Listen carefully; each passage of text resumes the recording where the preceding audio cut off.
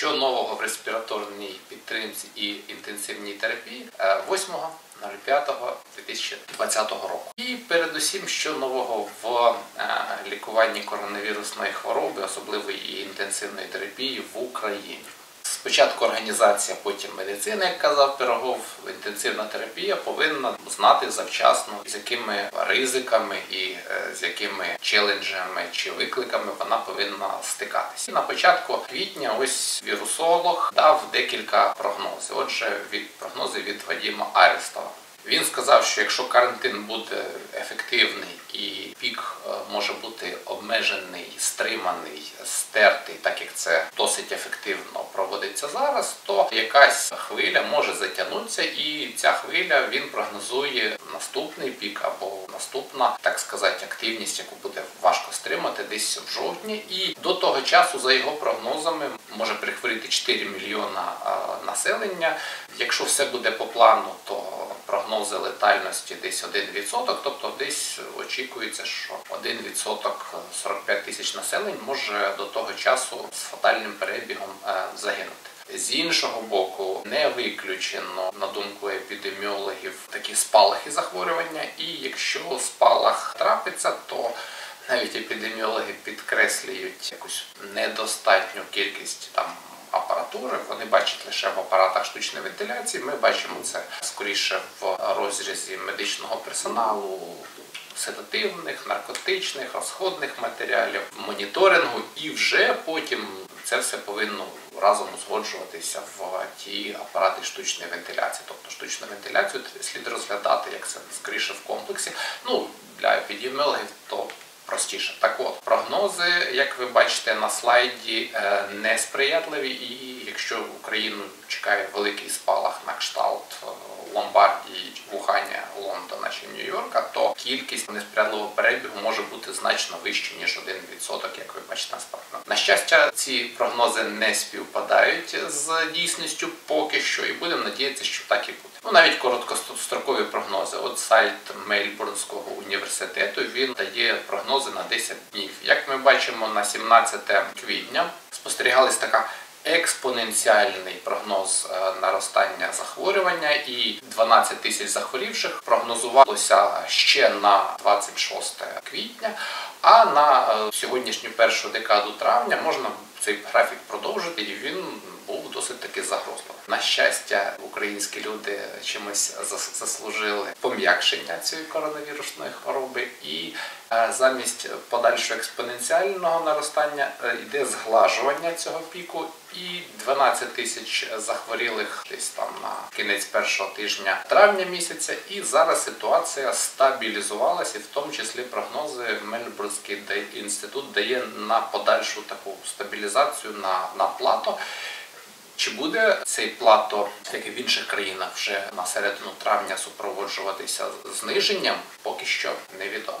Які прогнози давали інші спеціалісти? Ось французькі експерти проаналізували перший темп зростання захворюваності від перших 100 випадків, як це роблять у світі, до середини квітня. Вони ставили за мету допомогти розрахувати потреби в інтенсивної терапії. Отже, потреби в інтенсивної терапії, на їх думку, досить таки значні до 10 тисяч ліжок інтенсивної терапії.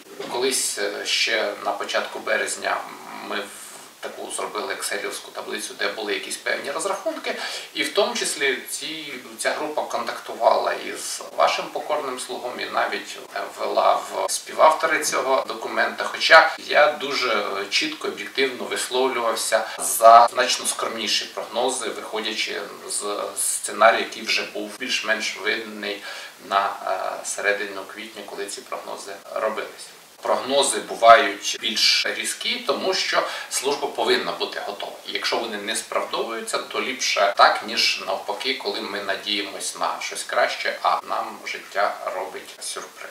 Отже, Буковина охоплена найбільш інтенсивно. 27 квітня журналістка зустрілася з головним лікарем, наскільки я так розумію, обласної лікарні, де на той час перебували 145 хворих і реанімація була повністю цими хворими заповнена. І заголовок статті, ну ви самі бачите, за день використовується кисню стільки, скільки не використовувалось за місяць. Тобто в день оксигенотерапію більше місячної потреби в балонах, і ці балони повинні міняти щодня. І знову таки такі лікарні потребують нагальної заміни системи подачі кисню з балонної на підвоз рідкого кисню. Друга проблема, яку ми знову таки ще в березні оголошували, це проблема дефіциту медичного персоналу. І в цій лікарні захворіли 44 медики.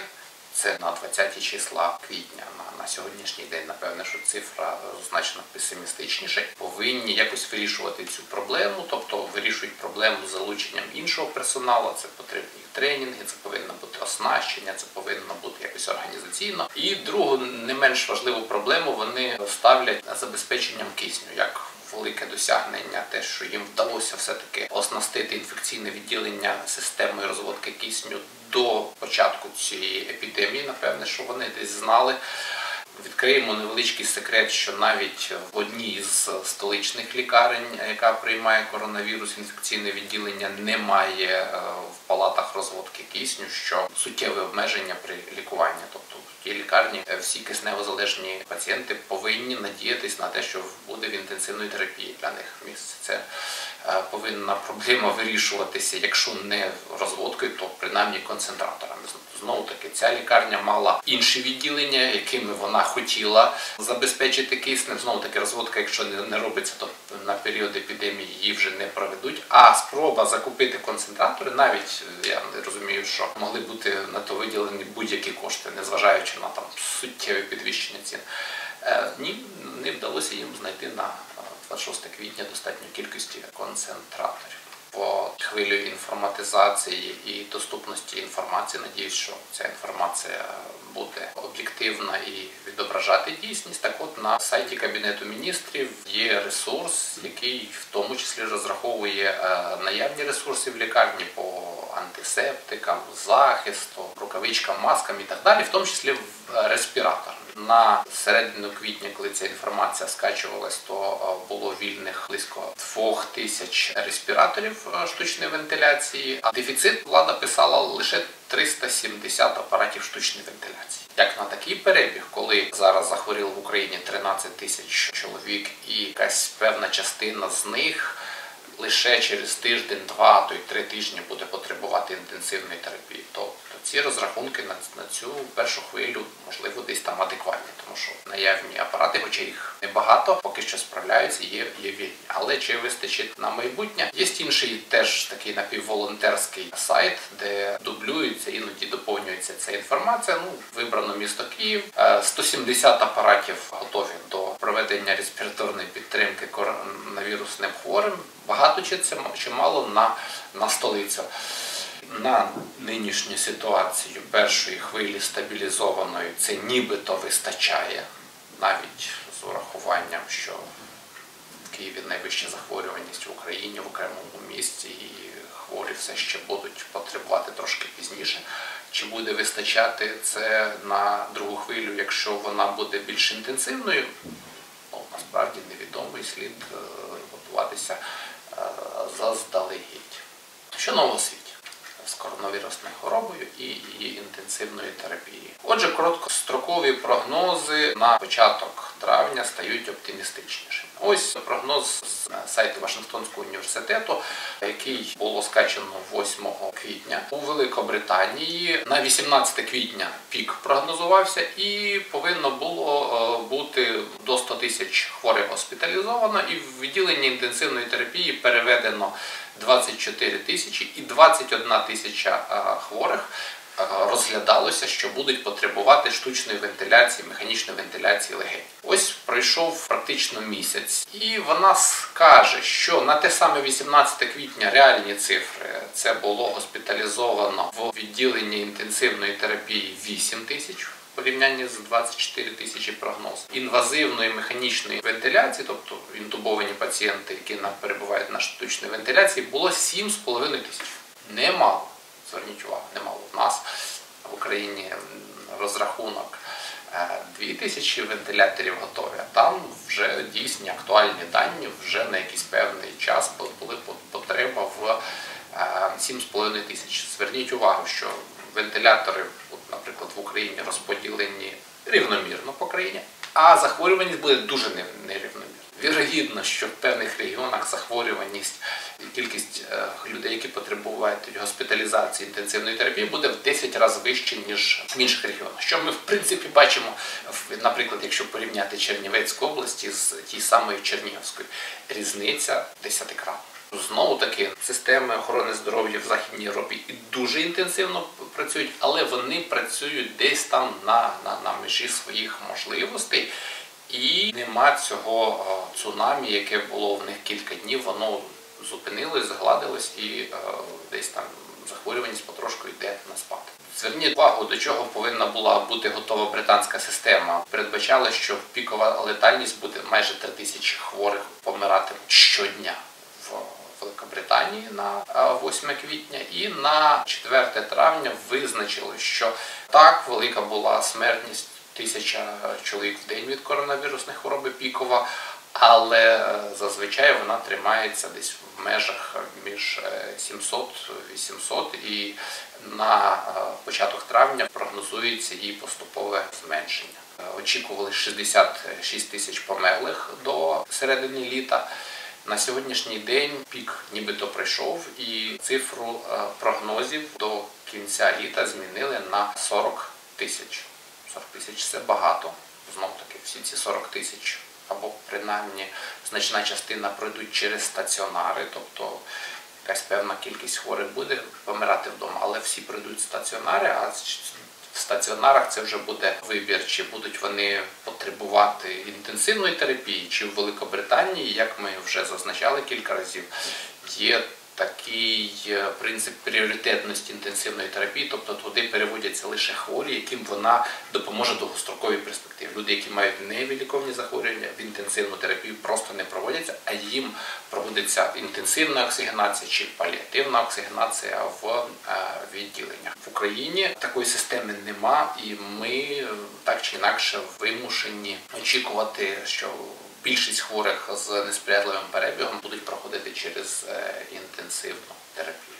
Трошки змінимо тему буквально на один-два аспекти. Перший аспект це хлороквіни і гідроксихлороквіни. Тижнів три назад були якийсь ажіотаж, де їх взяти. Давайте заберемо їх з ревматоїдних пацієнтів і дамо їх коронавірусним пацієнтам. І насправді добре, що їх тоді не вистачало для коронавірусних, тому що перший досвід був такий оптимістичний, як і будь-якого лікарського засобу, чи будь-якого медикаменту, чи будь-якого засобу лікування. А коли вже проаналізували якісь перші рандомізовані дослідження, китайські вчені сказали, там де чесно вони рандомізували хворих і не знали, хто отримав, хто не отримав, то не було жодного ефекту в хлороквінах. А кількість е, побічних ефектів або небажаних явищ, тобто різних там складників, можуть або можуть і не бути пов'язані. Але все одно в групі, які отримали хлороквіни, була більше ніж в три рази вище, ніж в е, групі плацебо. Ще серйозніша публікація бразильських авторів в журналі Джама, і вони кажуть, що летальність в групі, там, де реальна доза хлороквіну, така лікуальна, була втричі вища ті, що теж отримували хлороквіни, але вже в помірній невеликій дозі. І це дослідження було достроково зупинено.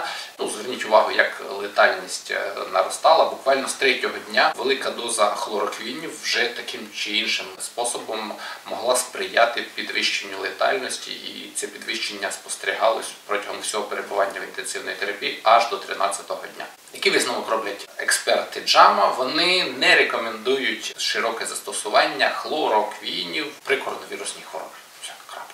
Ну а інше запитання, чому в Німеччині результати лікування кращі, ніж в тій же Великобританії і значно краще, ніж там в Італії і е, Іспанії. Давайте подивимося і проаналізуємо.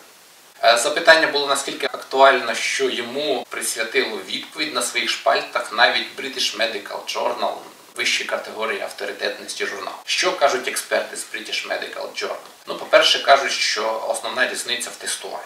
В Німеччині серед великих європейських країн найбільше і найширше проводились тестування, і вони виявляли і малосимптомний перебіг, який лікувались на дому ем, чи спостерігались, і безсимптомний перебіг, оскільки більше було захворілих виявлено, а в Великобританії, Італії, Іспанії, як власне в нас виявляють тільки верхівку айсберга, тобто ті, хто мають симптоматичний перебіг, а захворювання е, значно ширше. Відповідно, летальність в Німеччині на весь айсберг розподілялась. А в Італії, Великобританії і навіть в Штатах лише на верхівку айсберга, і тому е, це основна перша причина. Друга причина, яку чітко вказують експерти, це більша готовність системи охорони здоров'я.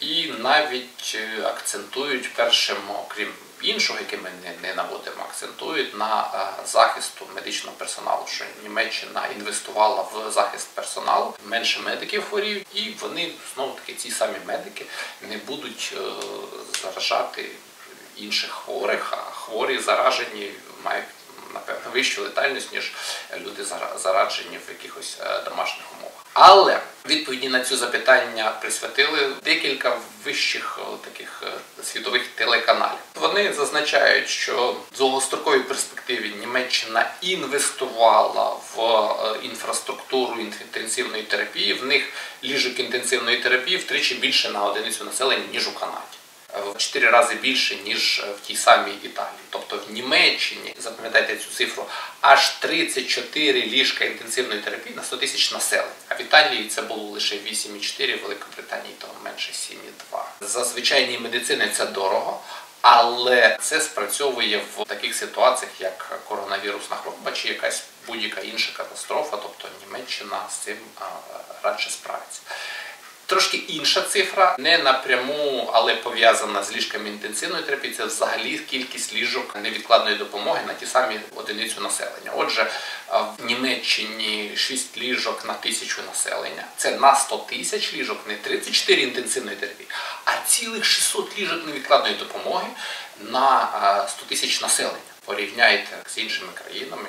З Україною важко порівнювати, тому що там ліжко невідкладної допомоги це як мінімум з киснем, це з апаратурою, це з кваліфікованим медичним персоналом, який може проводити і оксигенацію, і інші такі методи напівінтенсивної терапії. Тобто це не просто е, ліжко як кровать, а це е, ліжко як е, засіб лікування невідкладної допомоги. Це десь. В нашому понятті це була повноцінна інтенсивна терапія. В них інтенсивна терапія ще складніша. А в Великобританії в три рази менше таких ліжок. Знову таки, ще до кризи в е, Німеччині загалом то на всю країну було аж 28 тисяч ліжок інтенсивної терапії. Роблять висновки, що для ковіду це була вагома запорука, тому що ці ліжка оснащені вже один до одного, фактично медичною сестрою на кожне ліжко тренованою, е, медикаментами, розхідними матеріалами, слідкуючи апаратур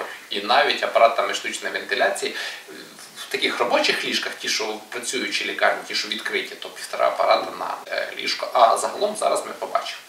Якщо на 100 пацієнтів майже ті самі цифри, ці 100 пацієнтів не одночасно, а, наприклад, 100 пацієнтів за рік проходять, і в Німеччині аж 6 ліжок острої допомоги на ці 100 пацієнтів два-три рази більше, ніж в інших європейських країнах. Кількість вентиляторів до кризи в Німеччині було на 28 тисяч ліжок, аж 35 тисяч вентиляторів. Це не враховуючи там наркозники там чи якісь там ще інші вентилятори, яких в принципі то можна вважати ще більше. І при цьому Німеччина додатково лише у одного дрегера замовляла ще 10 тисяч на, на наявні, на той час 35 тисяч. І німці кажуть, що це найбільша криза, в них найгладша в Європі. Вони до цього не готові. Ну, Давайте процитуємо німецького міністра. Він каже, що з е, моменту початку кризи е, вони підняли кількість ліжок інтенсивної терапії до 40 тисяч. Тобто з моменту кризи вони мали багато і ще організували повноцінних, скільки аж 12 тисяч ліжок додатково повноцінних. Ну, двотижневої давності інформації на той момент, коли в них прийшло через е, інтенсивну терапію 8 тисяч хворих, і ті, хто завершили 30-денний період, понад 3 тисячі хворих пройшли на штучній вентиляції. Е, це давненько, це в них ще не було піку то летальність на штучній вентиляції в них була нижче за 50%. Взагалі реанімаційна летальність, летальність в інтенсивної терапії близько трошки більше ніж 30%. Найкраща в світі. Тобто ці результати дійсно найкращі в світі. І е, німецький міністр е, передусім, маючи таку систему охорони кому він дякує? А він дякує простим німцям, які дотримуються порядку. Він каже, що я горжусь тим, що німці дотримуються порядку, і в них працює така фраза «Alles in Ordnung», все в порядку. Якщо ж вона не спрацьовує, то вони в більш сильнішу фразу вступають в дію Ordnung über alles – порядок перед усім. Давайте проаналізуємо іншу потужну систему охорони здоров'я американську. Чим вона подібна до німецької, на поряд з німецькою це найбільша кількість ліжок інтенсивної терапії в світі. Якщо в Німеччині було 34 ліжка до кризи, зараз більше, то в США було аж 36 ліжок на 100 тисяч населення. Для порівняння в Великобританії лише 7. Ну, у нас трошки більше, ніж 7, навіть чуть більше 10, здається, 12. Але чи ці ліжка у нас дійсно інтенсивна терапія, чи вони оснащені всім повноцінно з моніторингом, там, інфузоматами, головними медсестрами і медикаментами? В Штатах найбільша парк інтенсивної терапії, найбільший парк вентиляторів, і в Нью-Йорку, і можна сказати, на всьому східному побережжі вони не справилися. Наскільки багато захворіло, що ця інтенсивна терапія захлинулася, але вони розробили такі пірамідки. Тут вони поставили, що врач-інтенсивіст на чолі кожної піраміди він керує інтернами, резидентами, медсестрами, анестезістами, респіраторними терапевтами. Ось бачите, червоним виділено респіраторні терапевти. Тобто це ті дуже кваліфікований медперсонал, який повинен бути основні робочі руки. І вже після них пишуть інші лікарі, наприклад, е, терапевтичних спеціальностей, іноді навіть травматологи, хірурги і так далі. І один інтенсивіст може керувати тут 8 інших лікарів на 24 койки, тобто інший кваліфікований або правильна медсестра. Або респіраторний терапевт, або інший лікар може керувати або лікувати трьох хворих безпосередньо кожній такій е, бригаді на кожні декілька коїк, бо тому що медсестер, якщо в 4 рази більше е, в інтенсивної терапії е, хворих, то відповідно не одна медсестра на одного хворого, а одна медсестра на декілька хворих така кваліфікована.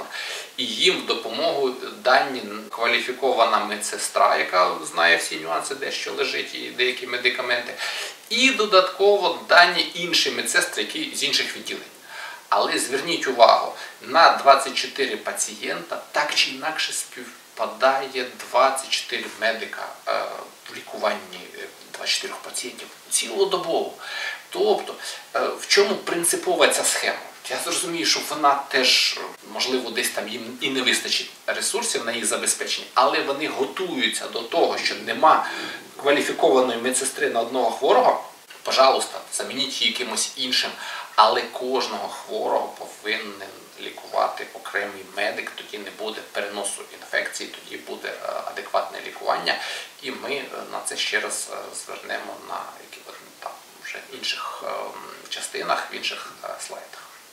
Продовжуємо про підготовку і зараз безпосередньо вентиляції оксигенації. Отже, в Великобританії гарна система, оснащена, на кожній палаті є свій кисень. В інтенсивної терапії вже штучна вентиляція, вони не беруть оксигенацію, лише ті, хто потребує штучної вентиляції. І вони проаналізували, скільки цього кисня йдуть, якщо його широко використовувати не інтенсивістами, а в палаті. Аналіз доходив до простого. Ось публікації, в якій казано, що в Лондоні якісний новий госпіталь вимушені були закрити на кілька днів, тому що перебої з киснем. Давайте розберемося, що це за перебої з киснем. Там не кисень закінчився. Системи балонів там не буває. Там кисень фактично ну, не може закінчитися. Закінчився цистерна кисню. За 5 хвилин в неї залють іншого рідкого кисню. Це неможливо. Але е, внаслідок високої подачі кисню, кисень йшов, але впав тиск. І в інтенсивній терапії е, апарати, які залежні від кисню, це так звані хайпреші, вони не можуть, на відміну від турбінних мати нижче, наприклад, трьох атмосфер. Жоден апарат High Pressure не працює без должного. 2,4 впало, маса кисню ще в лікарні можуть давати оксигенацію гарно, але не працюють е, ці е, апарати в інтенсивної терапії для обмеженої кількості хворих. Як би поступили в інших лікарнях? Чи в нашій лікарні б закрили лікарню і всіх хворих евакуювали? Дуже проблематично. Поступили б, закрили б кисень е, рішенням керівництва для менш киснево залежних хворих на поверхах і залишили б е, адекватний тиск е, в інтенсивної терапії. В Великобританії інший підхід. Зверніть увагу, наскільки інший підхід до лікування хворих. Вони затратили колосальний ресурс, колосальну кількість карет швидкої допомоги з вентиляторами, з оксигенаторами, з транспортним киснем. І всіх пацієнтів перекинули в інші лікарні, які теж були перегружені. А за пару днів цю систему кисню трансформували в таку, яка може давати кисню більше при достатньому тиску навіть для інтенсивної терапії. Ось оце, оце підготовка. Це повинна е, бути на цьому сконцентрована, як то кажуть, влада, організатори охорони здоров'я. І ми, як анестезіологи, інтенсивісти, їм повинні давати цю інформацію не тоді, коли це трапилось, а завчасно, напевне, на досвіді британського.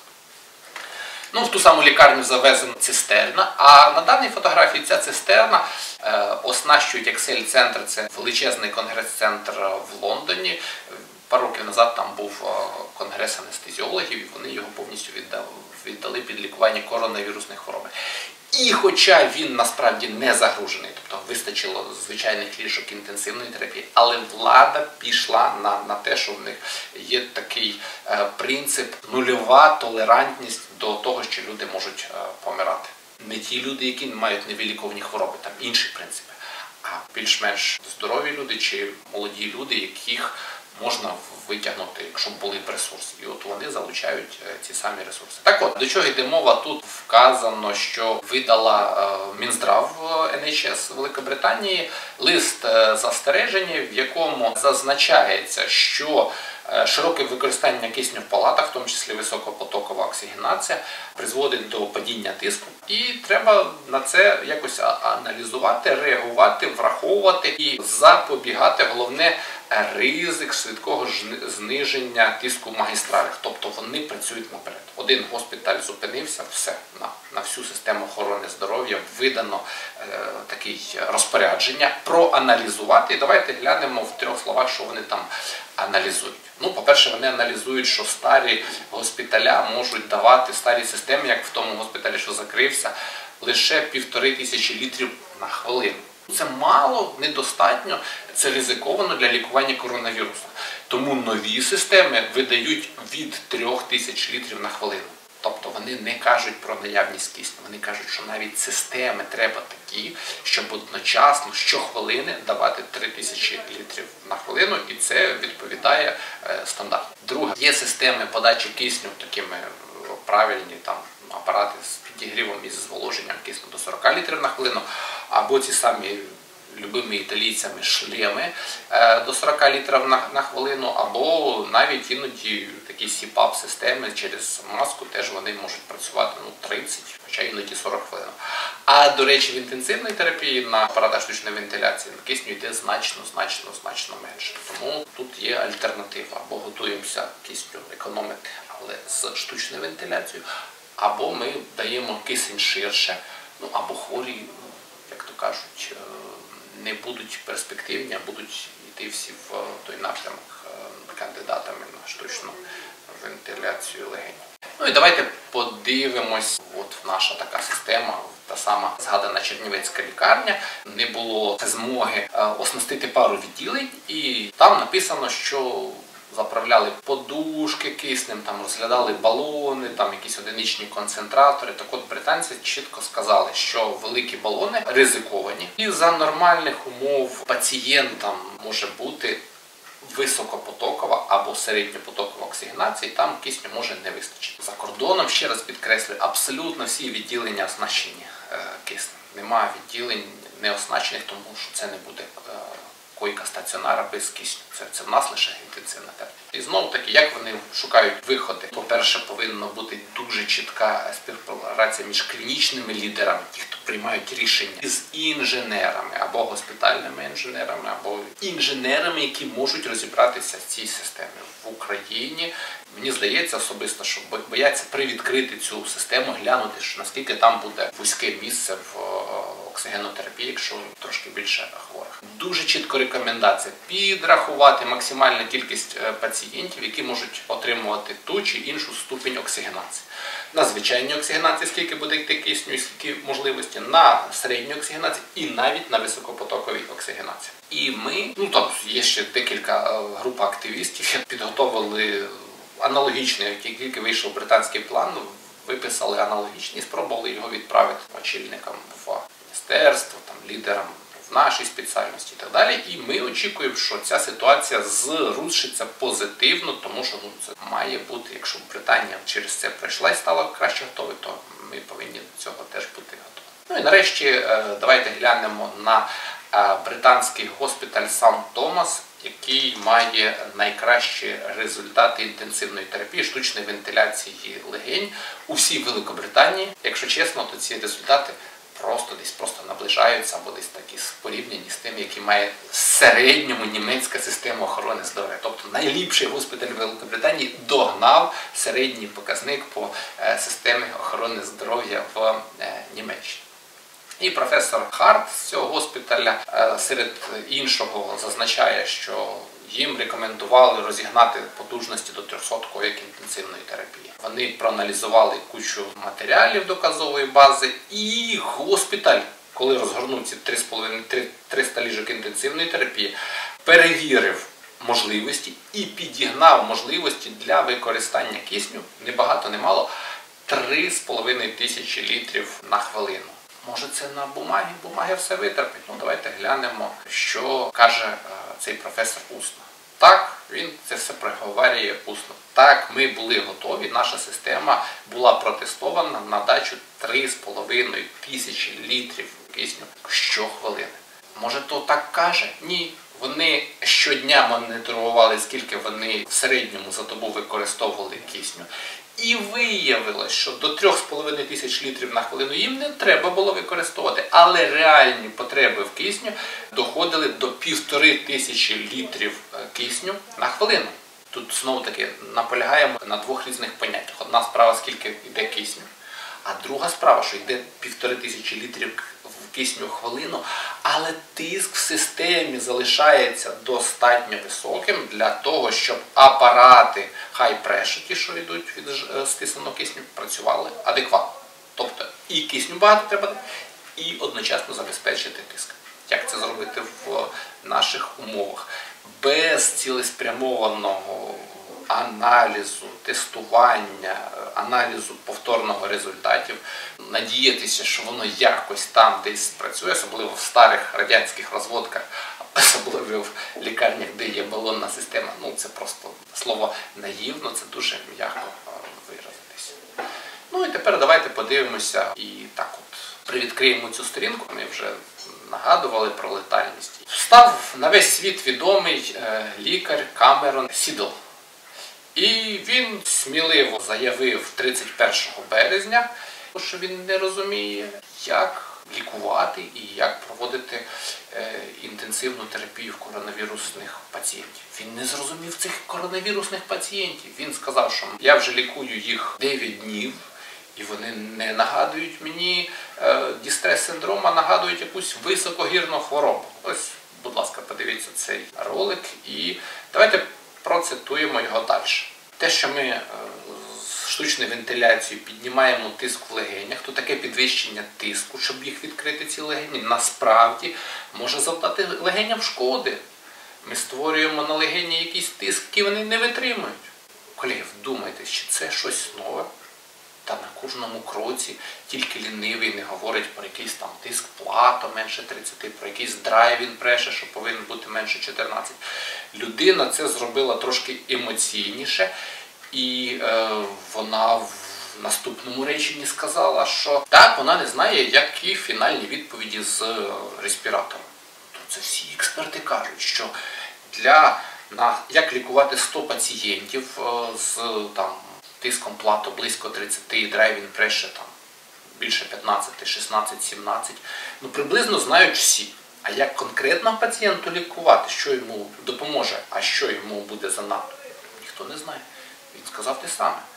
Він сказав, що так ми будемо використовувати вентилятор і будемо використовувати їх значну кількість. Але це вже журналісти не, не, не чули.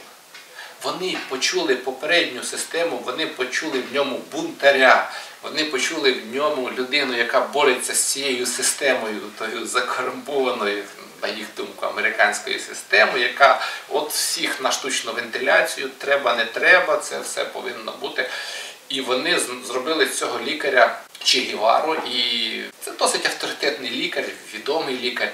Йому вже незручно перед своїми колегами, тому що насправді він не, не, не зробив е, таких занадто якихось сміливих заяв. Так він щось сказав емоційно. Презентацію можете знайти і е, зробити свою думку на мій аналіз. Але преса його підняла наскільки активно, вона е, на той час, на початок 8 квітня, проаналізувала пару невеличких таких досліджень, і вони на весь світ розтрубили, що летальність на інтенсивній терапії дуже висока, що на апарати штучної вентиляції це взагалі 80%. Ось навіть в китайців давали 86%. В Британії менше хворих і вони дають 66%. Колеги, тут ключове, там, де менше хворих, там менша летальність. Якщо ви проаналізуєте зараз летальність в окремих штатах, вона дійсно буде висока. Там, де нема такого напливу, і де все в плановому порядку, де звичайні медсестри, е, це все інші цифри. І е, ми тому, на тому сконцентруємося детальніше. Летальність летальністю, але деякі лікарі все ж таки ставлять е, під сумнів, коли хворих багато. Чи варто всіх е, садити на штучну вентиляцію, цими штучними вентиляторами оснащати звичайні палати, давати керувати, нажимати на кнопки людям, які тому не навчені. Як в нас зараз в Україні дуже такі популярні курси е, штучна вентиляція онлайн. Давайте всіх научимо проводити штучну вентиляцію, запрошуємо лікарів всіх спеціальностей. Не дай Боже, ті лікарі такі візьмуться нажимати кнопки. Я думаю, що кожен з е, нас, інтенсивістів, десь там такий невеличкий е, обережність, внутрішня в когось навіть такий здоровий е, помірний страх, він присутній. Ну і давайте подивимося, що таке happy гіпоксія і як її інтерпретувати в плані респіраторної підтримки. Зверніть увагу на моніторі сатурація. Доктор Лі дає 1%. Ведучий цього Скотт Вайнгарт на наступному слайді представив вам відомого інтенсивіста, емердженсі лікаря, каже, що це вірогідно 1%, це тому що неточність ви- виміряння сатураторів. Чим нижча сатурація, тим вірогідно гази крові покажуть сатурацію 50%. І відповідно інший лікар, вже той згаданий Камерон Сідел, дає пацієнта, якому сатурація 45%. Напевне, що тут не справжні 45, може бути і 45, а може бути вона вище, просто пульсоксиметр показує не точно. І якщо попередній е, пацієнт, зверніть увагу, тахікардійка 107, 38 дихань на хвилину, тиск менше 100, то в цього пацієнту 20 дихань на хвилину, а 73 е, пульс, тиск 108. 107 е, на 53. Тобто пацієнт, я не скажу, що він стабільний, але він не виглядить на той дистрес. От саме на таких пацієнтах і називають поняття хепі гіпоксія. Е, Тут наводяться ці пацієнти не з коронавірусної хвороби, це з архівів е, лікарів. Ну, Справді останній це невиліковний пацієнт з цирозом печінки. І цей пацієнт в свідомості, не на апараті. Тобто в нього остання стадія захворювання, і він, в принципі, сознає свій стан і так далі. І ми приводимо ці дані, щоб показати можливу певну толерантність до гіпоксимії саме у хворих, в яких нема інтенсивного респіраторного драйву. 20 дихань на хвилину і відсутність тахікардії. Ну і зараз ми е, спробуємо вам продемонструвати порівняння з анхепі гіпоксією. яку Ця медсестра розказує, що в Італії все погано, багато хворих е, дійсно потребують якоїсь там інтенсивної терапії, щоб сидіти вдома, е, тому що щоб не було так, як, так, як, так, як у нас. Ось показує навіть такі старші діти. Ось така задишка, кілька е, дихань, е, десь напевне, що там тут десь під 30 за 35 е, е, дихань хвилиною. Е, Два останніх е, відео е, більш, більш, більш е, е, виражена задишка, яка е, особливо на останньому відео десь е, понад е, 40 дихань на хвилину. Давайте подивимося, де тут останнє відео. Да, ось тут така емоційна дитина, фактично істерика, дуже глибоке дихання. Саме таке дихання, воно є unhappy, unhappy гіпоксія. І ми завершимо цей блок е, виступами цього е, Скотта Вайнгера, який розказує, що так, буває виражена гіпоксимія, і якщо вона не супроводжується великою роботою дихання, то подумайте, чи цей пацієнт е, такий обов'язково повинен бути заінтубований, чи можливо ви спробуєте якісь інші більш е, ефективні способи оксигенації, зокрема високопотокова оксигенація, і боятися токсичності кисню не слід, тому що на вдиху такі високі концентрації, а в крові вона не занадто висока. І ніхто в крові при навіть 100% кисню тимчасовому не отримує при коронавірусі високого ПО2. Промпозиція дуже важлива і її краще виконувати в свідомості, тому що е, якщо ви хворого такого сидуєте, то навряд чи в нього е, збережуться якісь захисні сили організму, і навряд чи він буде так же само боротися з цією хворою і переносити толерантно незручне для себе положення на животі. Останній такий слайд Скотта Вайнгарта по happy гіпоксії він каже, що пацієнтів з одного боку не слід е, їм робити ресусцитацію на низький тиск. Десь подумайте про вазопресори, тому що рідина всмоктується як в губку. А з іншого боку, дивіться, величезним, ще більшим шрифтом каже, і сушити їх занадто не потрібно, тому що може бути і ниркова недостатність, і гіперкоагуляція. Знов таки Скотт Вайнгарт веде чи не найвідомішу у світі програму по інтенсивній терапії в Emergency і про невідкладну допомогу. І ось його колега учить неінтенсивістів, каже, що штучна вентиляція чи респіраторна підтримка не обов'язково повинна зменшувати частоту дихання. Головне, щоб оце глибоке дихання не завдавало легеням шкоди. Ну і наостанок е, зверніть увагу на фоні, які самі вибрали американські лікарі, на фоні зніматися, то я там їм нічого не робив в е, фотошопі. Вже завершимо з хепі гіпоксії. Це така досить таки популярна тема.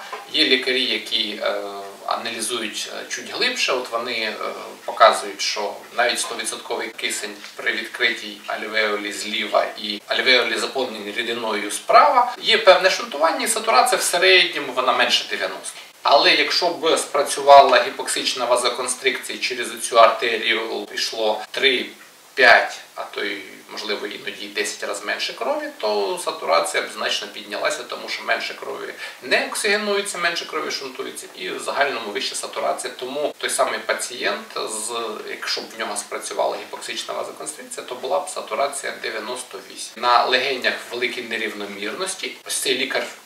Сама цінність його таблички в тому, що він підкреслює нерівномірності не тільки в цій е, спрацьовує чи не спрацьовує гіпоксична вазоконстрикція, але він показує, що і нерівномірності оцінки цієї оксигенації. У людини дуже чутливих, навіть помірна гіпоксимія може бути дуже високий інтенсивний респіраторний драйв і істерика, як у тих італійських е, хворих. А в людей з зниженим чутливістю до гіпоксимії, можливо, в хроніків, можливо, в інших таких генетично, і з неефективною гіпоксичною вазоконстрикцією легені можуть бути абсолютно нормальні. Але високе шунтування і дуже низька сатурація е, можуть добре приноситися хворим, і це є хепі, гіпоксія, і тут інші питання.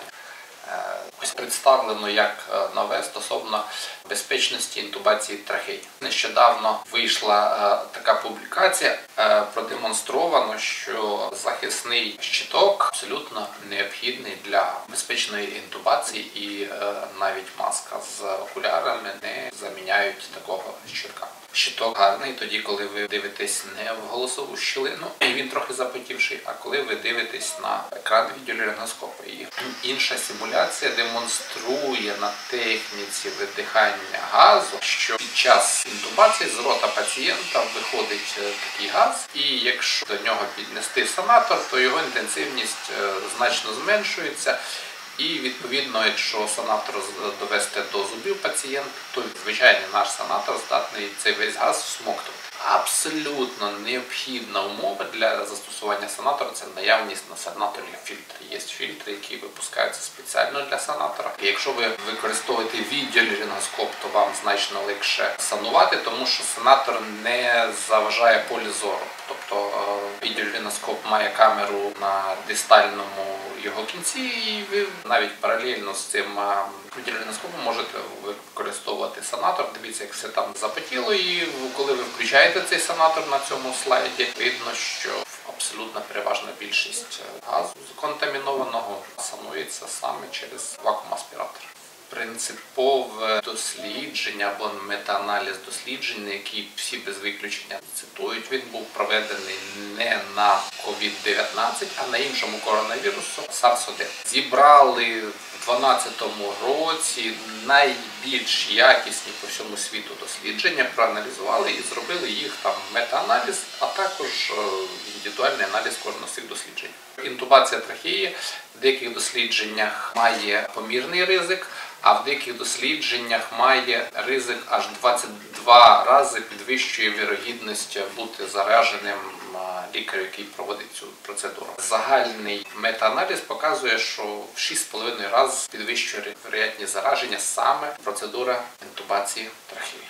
Інші маніпуляції? Роздихування маскою і навіть е, звичайна маніпуляція з кисневою маскою, яка є у пацієнта. Чому кисень іде? Ви зміщаєте цю маску. На, на цій масці конденсувалися 10, 100 чи можливо навіть тисячократна доза вірусу порівняно з одним видихом пацієнта. І коли ця маніпуляція цією маскою, то кисень його може, може розпиляти.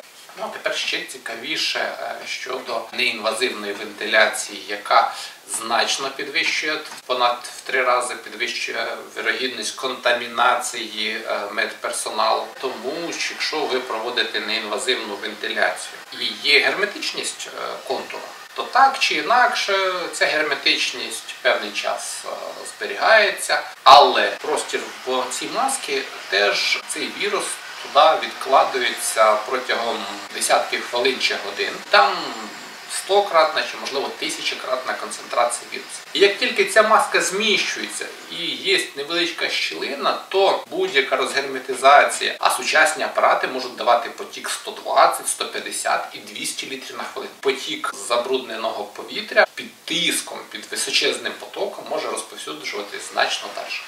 А от зверніть увагу, високопотокові канюлі, high-flow канюля, вони відкритий простір відкривається, тому навіть поток 30 і навіть 60 літрів він йде в дихальні шляхи пацієнта. І зазвичай всі високопотокові канюлі та й звичайні канюльки носові, вони повинні бути обов'язково абсолютно необхідна е, хірургічна маска. І використання звичайної хірургічної маски, за даними дослідників, не підвищує, а навіть знижує ризик контамінації медперсоналу порівняно з е, стандартними пацієнтами, які такої оксигенації не отримують. І ці дані е, цитують всі без виключення. Ну, переважній більшості країн так і йдуть, окрім Великобританії. От Великобританія ці дані, напевно, що визнає і знає, але все одно вони ширше користуються неінвазивною вентиляцією, ніж високопотоковими канюлями. В Штатах ситуація інша.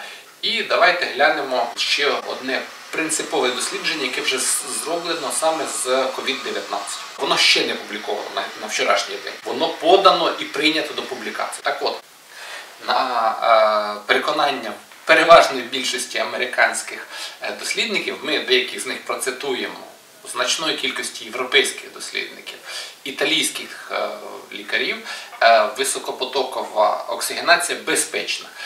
Дехто, щоправда, обмежує 30 літрами на хвилину, а американці можуть давати всі 60 літрів. Це вкрай вагоме дослідження, яке нам е, дає безпечний інструмент для нашої дії. Чому? Тому що високопотокова оксигенація, оскільки вона вимиває газ не тільки з мертвого простору в е, верхніх дихальних шляхах до е, гортані, а навіть туди поток заходить в трахею і доходить до головних бронхів, вимиває вуглекислий газ і дає покращену оксигенацію. Тобто мертвий простір зменшується на 50-100, а іноді може бути на 150-200 мл. В той час, як звичайна лицева маска збільшує мертвий простір, а маска з фільтром збільшує мертвий простір іноді на 150, а то й 200 мл. А велика лицева маска, ще отакі е, маски для снурклінга, там де їх плотненько там на все лице, вони можуть бути і ще більше мертвий простір. Тобто е, носова канюля найефективніша зменшення мертвого простору. Відповідно, найменші будуть хвилинна вентиляція і навіть дихальні об'єми. Відповідно, найлегше адаптувати цих пацієнтів без застосування дороговартісних апаратів для неінвазивної вентиляції, дороговартісних шоломів, дуже дороговартісних якісних е, масок, в яких е, і тиск, і адаптація, і загалом підвищення мертвого простору. Тому це дослідження ми цитуємо як е, найбільш вагоме. Ну, кожен з вас зробить свої висновки. Я хочу підкреслити, що вірус серйозний.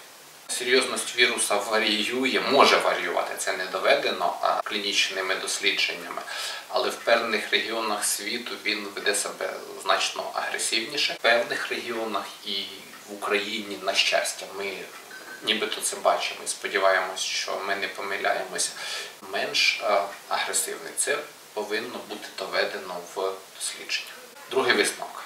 У деяких пацієнтів перебіг захворювання вкрай агресивний, вкрай несприятливий.